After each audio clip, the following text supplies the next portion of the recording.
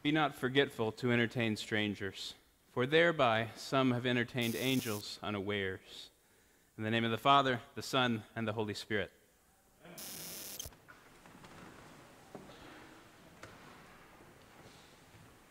Jesus once said that a prophet is never welcome in his hometown. And a barely insightful person might add, yes, and also not really anywhere else. Nevertheless, the texts today are broadly about the reception of visitors, with both the Hebrews reading and Luke's gospel providing excellent examples of how it's done.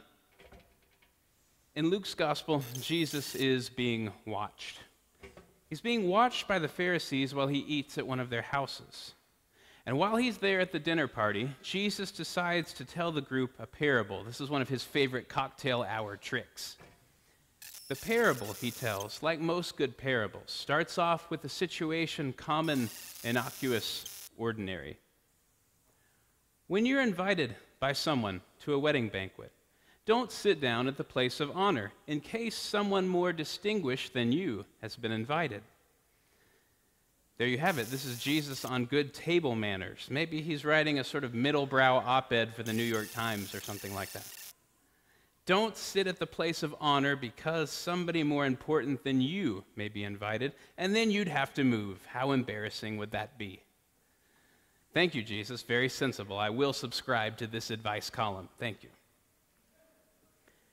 Instead, sit down at the lowest place at the table, so that when your host comes, he might say to you, Friend, come up higher. Then you'll be honored in the eyes of all. For those who exalt themselves will be humbled, those who humble themselves will be exalted. All of a sudden, in that last line, we realize that table manners aren't exactly the point, are they? Those who exalt themselves will be humbled, those who humble themselves exalted. There are lovely echoes of Our Lady's Magnificat in that line, aren't they? And of the great rearranging to be completed at the end of days. His short parable now finished. Jesus turns again to more practical table advice. At least it sounds that way at first. When you give a feast, don't invite your friends or your brothers or your relatives or your rich neighbors. After all, they might return the favor and then you would be paid back. But when you give a feast, invite the poor, the crippled, the lame, and the blind. And you'll be blessed because they can't repay you. You'll be repaid at the resurrection of the righteous. Can you see the modern ear straining under the weight of Jesus' rationale here? The poor can't repay you, but don't worry about it. You'll get paid back at the resurrection of the righteous. Please, Jesus, just tell us how to be nice. Just tell us about good manners and how to be respectable. Don't tell us about a resurrection and repayment at the end of time. That's so crude. That sounds like a fairy tale. Come now, Jesus, aren't your parables just to help us arrive at a higher state of psychosocial awareness? In a word, no. And good news, too. Jesus will save us from a great many things, among them confusing his teachings for signposts to more interesting stuff. Many of you know that I'm not originally from Dallas. I grew up in the People's Republic of Austin. So I'm, I'm contractually obligated to keep it weird, you understand? I'm not from Dallas, but I spent a few summers coming up here for this or that reason uh, with my home church. Often it was for a mission trip. I guess there were more pagans here in DFW than there were in Austin, I guess. Our church took several trips up here to help out with a particular mission in Arlington. It was a Christian organization whose goals included bringing the church to the people. And so, the way that a bunch of teenagers got involved in that was to put on vacation Bible school programs in underserved parts of the community. Ideally, we would go out to these sort of rundown, shabby neighborhoods, invite children to the program, they would say yes, and then the kids who made it would stay out of trouble, play soccer with us, and be intentionally introduced to our Lord Christ. That was sort of the pattern.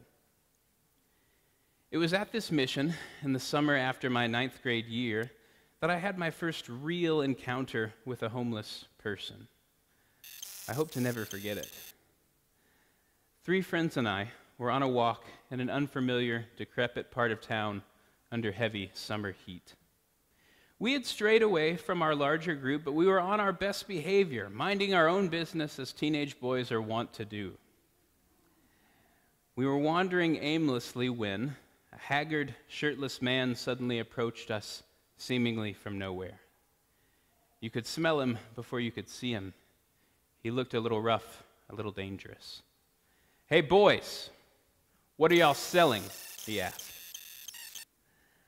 I really could not have expected what happened next, but knowing how these meetings usually go, I was surprised to learn that the man didn't ask us for food or money.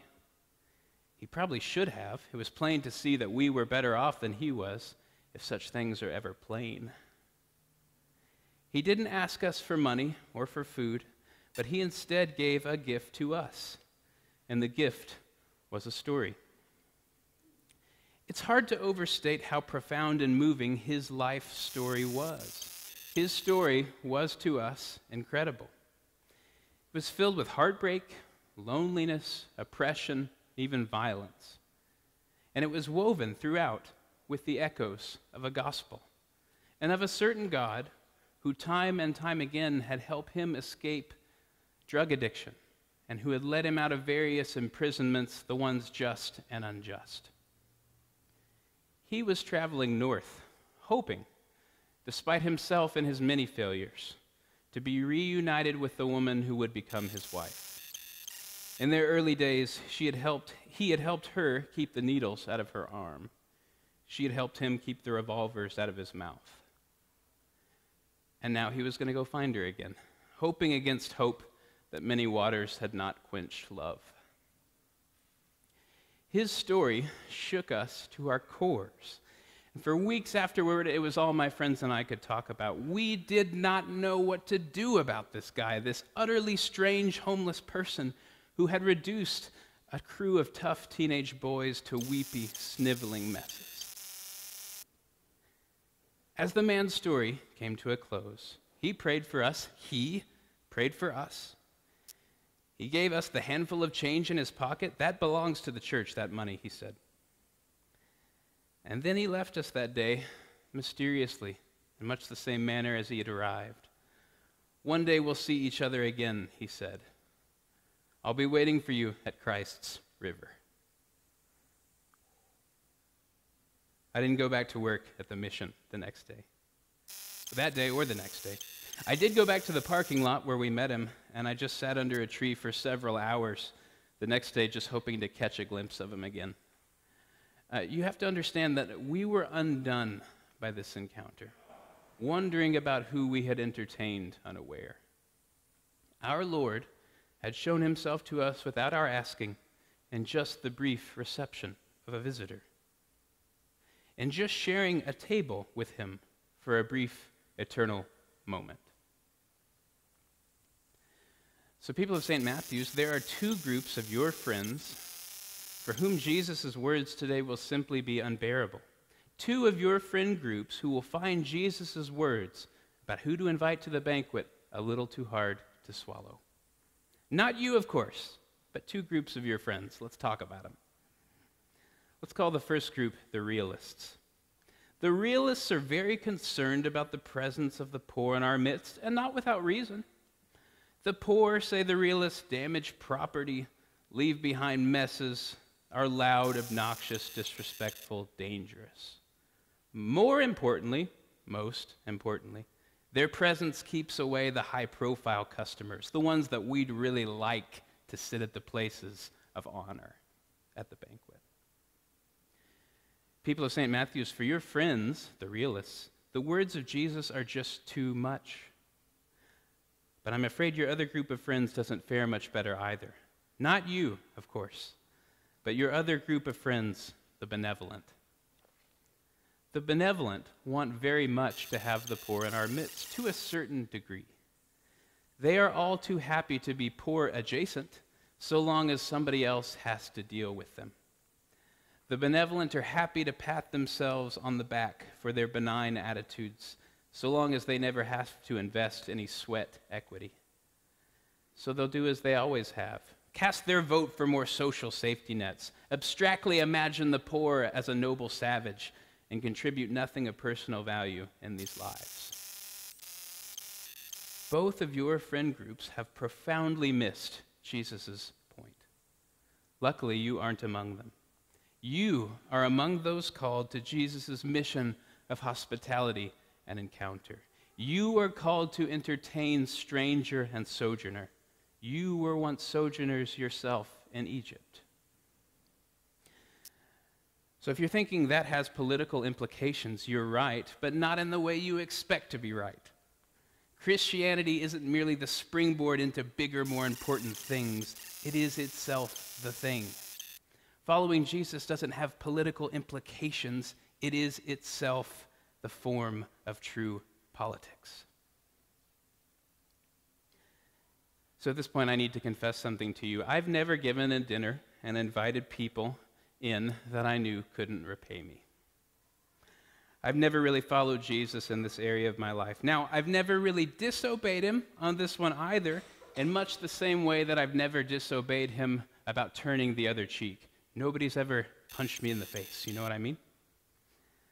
I hope that never happens, but if it does, I will have received the grace to obey Jesus in uncharted territory. At the same time, it's also true that I don't really open myself up such that this opportunity to obey Jesus in uncharted territory becomes possible. What might it mean for me to extend myself in this way? What might it mean to move beyond the silliness, the unbearable silliness of the realists and of the benevolent, into actual transformative encounters with people who cannot benefit me socially? The problem with the Pharisees in today's story is that they act like there are no clear answers to these questions, as if the history of Israel herself had no weight, no bearing. If they were truly children of Abraham, they would do as Abraham did. What did Abraham do? He runs out to meet his visitors, he bows before them, he washes their feet, he makes them food. And in this offering of hospitality to his guests, Abraham gets back more than he ever gives. Behold, your wife Sarah will bear a son. That's the nature of Christian hospitality, folks. We receive more than we give. I've been carrying around the story of that homeless guy for a decade and a half. It's because he gave me more than I gave him. Friends, we're in a time of reimagining what it means to give a banquet here in this local church. How it is that we can best fulfill what St. Paul commands receive one another as you would Christ. Not because we're nice, Lord knows, not because we have good table manners. Jesus' premise here is, of course, totally ridiculous unless you buy into the conclusion. When you give a banquet, invite the poor, the crippled, the lame, and the blind and you'll be blessed. Sounds great, Jesus. I like being a humanitarian. I really enjoy being doing good humanitarian work. Why will I be blessed? How does the blessing work? Because they can't repay you. You'll be repaid at the resurrection of the righteous. Okay, Jesus. That's just crazy enough to work. Sign me up. Sign me up to share in one of the happiest paradoxes of the Christian journey, wherein the lines between guests and hosts are blurred, are permeable, wherein we wonder about whom we've rightly entertained unaware. An old hymn puts it like this Come, risen Lord, and deign to be our guest. Nay, let us be thy guests. The feast is thine.